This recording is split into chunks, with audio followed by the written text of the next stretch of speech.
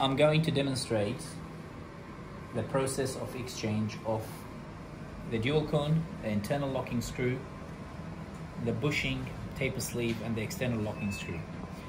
These are the instruments that are required to perform this process. It can be done in a clinic environment. It does not need a sterile technique. It doesn't involve any surgical intervention. This is not a surgical procedure. It can be done by a prosthetist or a clinician, such as a rehabilitation physician or a surgeon. So the instruments that are required are an Allen key size 3 for the small distractor, an Allen key size 4 for the larger distractor, an Allen key size 5 for the internal locking screw that is going to be replaced and for the distal locking screw as well as sometimes the larger distractor has screws of such. The original internal locking screw requires an Allen key size 4. You need a small ring for the dual cone, you need a large ring for the taper sleeve. So the first process, we take the connector and often you require an Allen key size 5. Are you happy if I take it off? Ready? So counterclockwise and we just pull it off.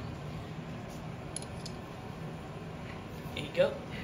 Now, the next step is to take the taper sleeve.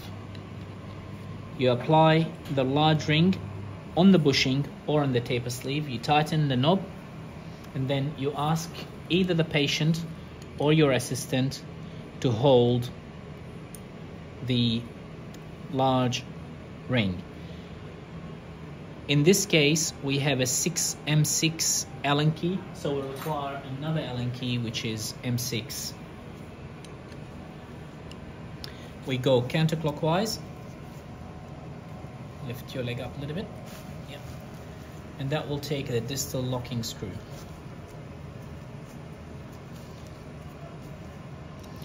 It is not unusual to have bad odor after removing the distal locking screw because the internal locking screw can collect some body fluid.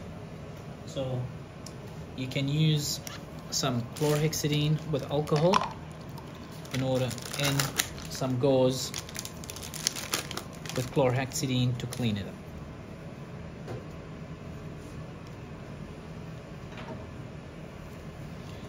After I remove the distal locking screw.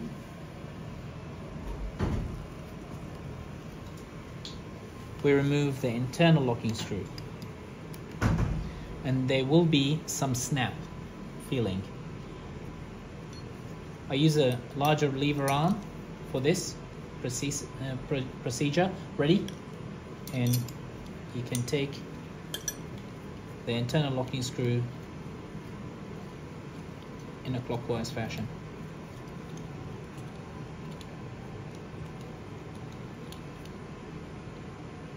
Now the internal locking screw is pulled. Just pull it off.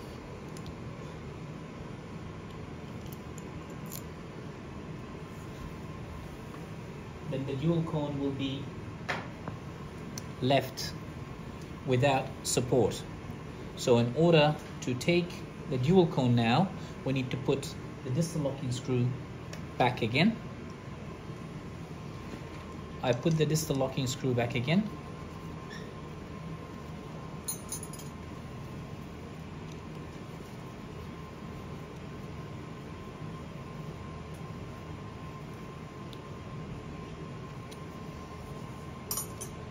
and then I remove the large ring.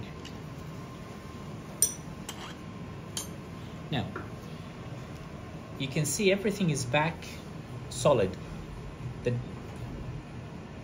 what's holding everything together is the taper the Morse taper between the dual cone and the implant.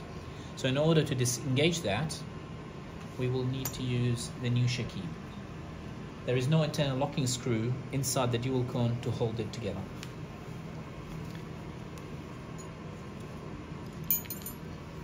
So in order to use the distractor,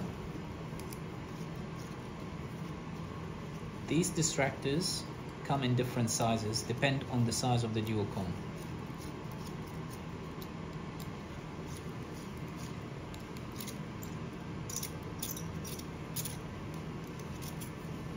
I disengage the screws. You point the ring facing the implant and the curved edge facing out.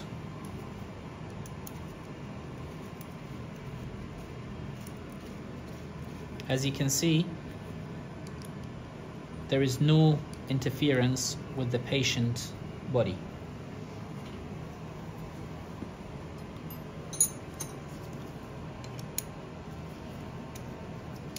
The same thing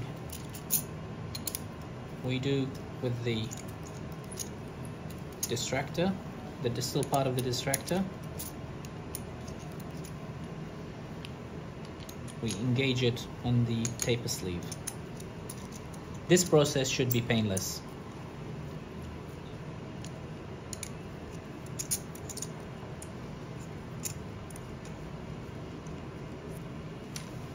The way I designed this, so the patient does not need to go into an operating theater to have this done.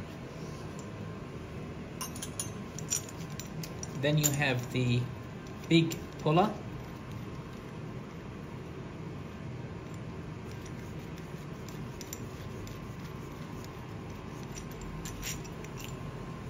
and we engage it together.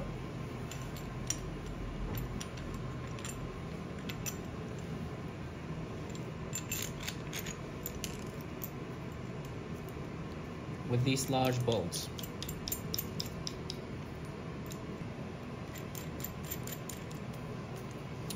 On occasions, you have some play between the two components, so you might require to have some addition of half rings.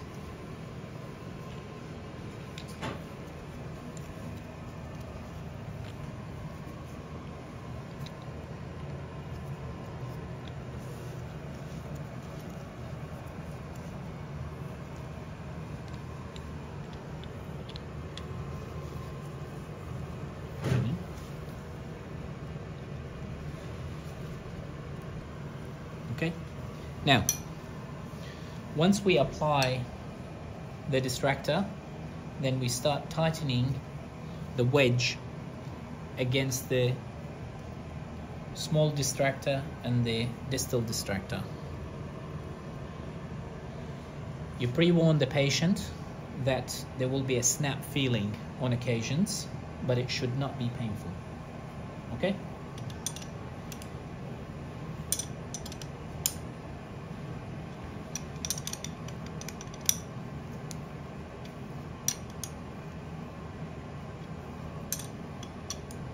You do it gradually on each side in a balanced way.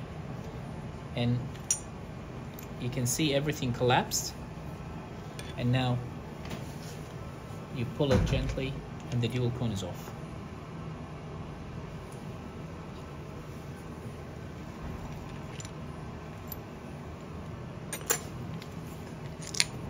Okay?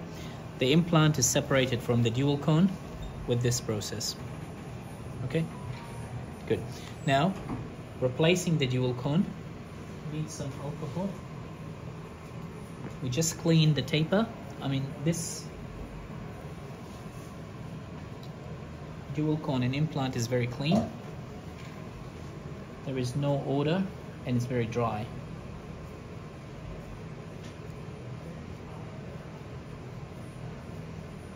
I clean the inside of the implant all of this is external, nothing involve the patient skin. we insert the new dual cone. Then with gentle tap it will lock itself. The Morse taper is locked. Okay? Then we use the small ring. This small ring goes one way. The writing should be on outside if you try to do it the other way it doesn't go. Because it's tapered. And then you tighten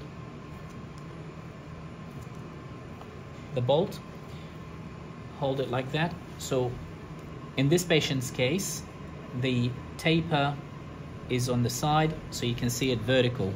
Most of the time it's horizontal. Then we use the internal locking screw which takes size 5 Allen key.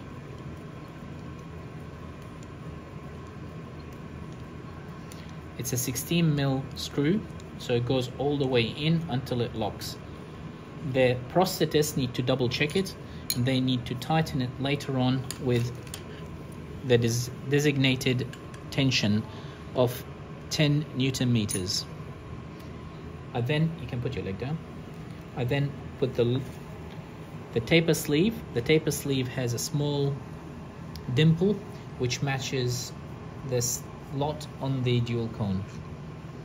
And it goes only one way. Again gentle tap. And it locks. And then the bushing goes on top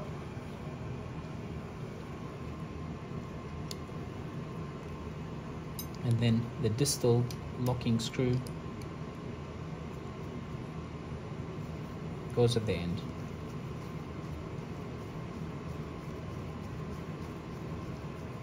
You start with hand tight and then I use the big ring tighten the bolt of the ring and then this time with this screw it's a size 5 so we tighten that over until it's tight. We undo the bolt. The process is finished